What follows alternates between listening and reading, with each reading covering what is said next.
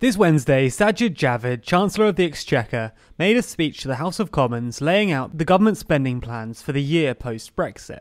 With so much going on this week, it's kind of slipped under the radar for a lot of people, including us, and we didn't get a chance to make a video on it as it happened. So today we're making up for that and letting you know what the government's plans are.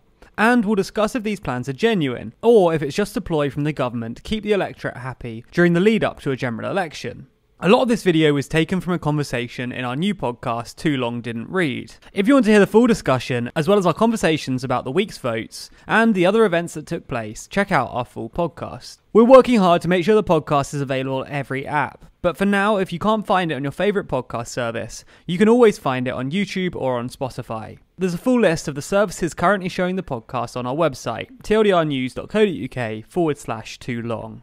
Oh, and I promise I'll stop talking in a moment. We've done three videos this week based around podcast episodes, and we've got some mixed feedback on them. I'm going to pin a question at the top of the comments asking what you think of them. They allow us to get a variety of voices into the videos and streamline the editing process, which helps us keep you informed in busy weeks like this. But I want to know what you think of it too. So make sure to respond to the question I pinned down below. And don't worry, if you guys hate it, we can stop, but it's just good to know what you think. So before we discuss the impacts of the Chancellor's new plans, let's see what he had to say in the lead up to his new economic announcement. Statement The Chancellor of the Exchequer, Chancellor Sajid Javid. Yeah. Thank you, Mr. Speaker. Let me start by saying a few words around the circumstances around today's statement. We are in uncharted waters. But, Mr. Speaker, we cannot allow that uncertainty to distract us from delivering on the people's priorities. So today, we give certainty where we can. I announce our spending plans for Britain's first year outside the European Union. After a decade of recovery from Labour's Great Recession, we are turning the page on austerity and beginning a new decade of renewal. And today we lay the foundations with the fastest increase in day to day spending in 15 years. We will be able to build a safer Britain where our streets are more secure, a healthier Britain where we can care for people throughout their lives, a better educated Britain, where every child and young person has the opportunity to succeed. We will build a global Britain, a modern Britain, an enterprising Britain, a prosperous Britain. Today, we lay the foundation for a stronger, fairer, a more prosperous future for our great country. So we know what the Chancellor wants to achieve, but what exactly is he planning to do to make that happen? Let's hand over to me in the podcast where I explain. One other major thing happened in the Commons yesterday, that being Javid's spending announcement. Sajid Javid, the current Chancellor, uh, made a series of announcements about increased spending throughout various government departments. The announcement marked the biggest spending review in 15 years, increasing the total government spend by about 13.8 billion pounds, which certainly is a huge increase to be making. That makes it a 4.1% increase in government spending from 2019-20 to 2020-21, um, which is again 4.1% is a pretty impressive increase. The biggest areas of spending all saw an increase, so that's health saw a 3.1% increase to 13.9 billion pounds a year. Education also saw a 3.1% increase, 67.8 billion pounds a year, and defence saw an increase of 1.8% to 30 billion pounds a year. According to the government, no department will experience real term funding cuts, and every department will see their budget rise. Javid claimed that he was able to afford the increases due to changes in government income and expenditure, and that the difference between the two had dropped to 1.1%, which is far below the Treasury's objective of the 2% target. Labour said the government were just spending money that they'd saved for Brexit, and the money wasn't necessarily coming from the right places, and it wasn't a sustainable long term plan. Uh, the left wing think tank, the Institute for Government, backed that up, accusing the government of using a mirage of figures and said that the public shouldn't be taken by today's spending review. It doesn't reverse a decade of austerity and chronic underinvestment in our society and economy. And when you do look at the increases in the light of the last decade's worth of cuts, you can see that the cumulative change from 2009 through to 2021 means that only three departments actually have seen their total budgets increase in real terms. Those departments are health, which saw a 14% increase, the Home Office 9%, and international development 8%. But that leaves a whole load of departments seeing their budget cut, including education being cut by 11%, defence 12, justice 31, environment also 31, transport 54, and the biggest cut of all goes to local government, which saw its budgets cut by 77%.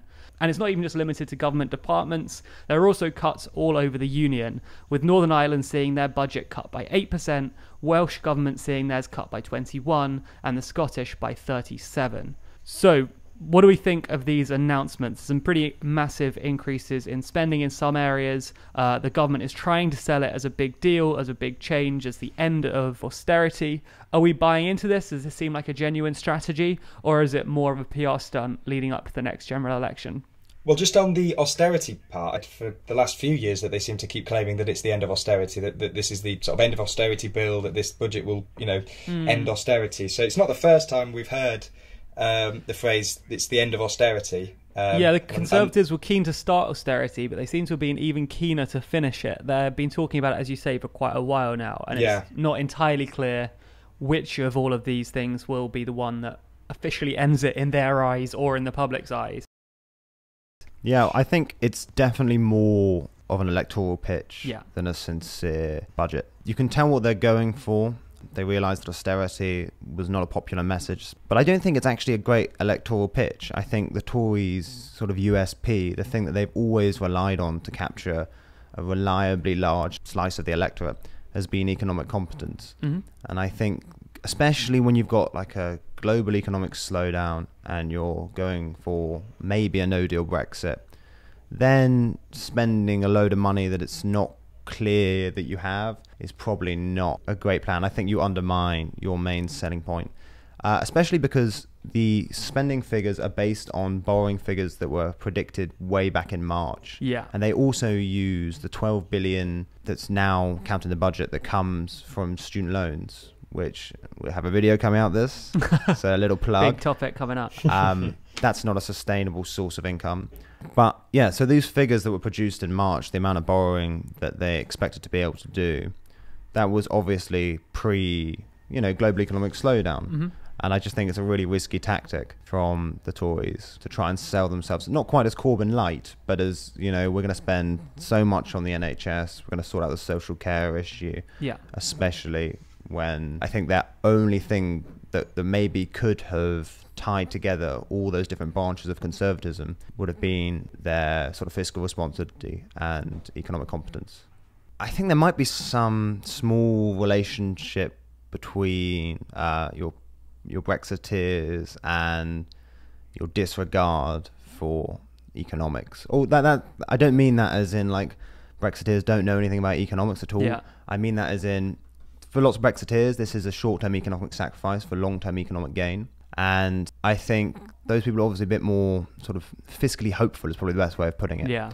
So I think that this Brexiteer government breeds a slightly more expansionary take on budgets and stuff like that. Mm-hmm.